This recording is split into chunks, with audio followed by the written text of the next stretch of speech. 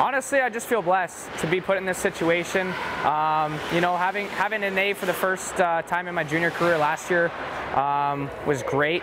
Um, you know, I'm just honestly looking forward to leading these young guys in the right direction, hopefully, for when they get the chance to hopefully wear this C one day for uh, the team they play for. First and foremost, it just instantly comes to my mind is my, my family, um, including Cam, um, just being there as a supportive younger brother, um, and obviously my parents, just trying to teach me the right ways of how to be the right person on and off the ice. Um, and then obviously, yeah, I've had two great captains in uh, Derek Pies and uh, Tanner Bibby, who I've learned a lot from as two kind of different captains, whereas Piesy's a little bit more on ya, um, whereas Tanner's more laid back, kind of fun guy.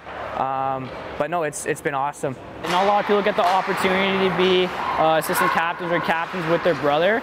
Um, and to know we kind of feed off each other, different different perspective. Matt's more on ice guy. I, I like to be off the ice uh, as a leader, and yeah, uh, I think we're going to show really good this year, and Redhawks fans should be happy.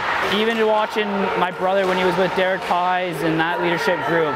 Um, coming to the rink, seeing how they are on and off the ice, and getting stories back in the car or even back in my home um, from that. And then last year, Tanner Bibby being the captain um, means a lot, you know, to his organization. And um, yeah, I'm happy where I'm at. Last couple years I was here, I've had great leaders. You know, we had Ken Cummings, uh, Michael McKnight, and you know Tanner Bibby. You know, I looked up to all of them in the past couple years, and uh, they were great leaders. And you know, it's something I want to emulate coming coming into this season with our younger guys. Be a leader that's uh, hardworking every night. You know, picks up uh, his teammates on the ice and off the ice too. So, um, you know, just be all around team guy, leader on and off the ice here. It means a lot to be recognized as a leader on this team because the great leaders we had before, you know, Ken Cummings is a good role model to me.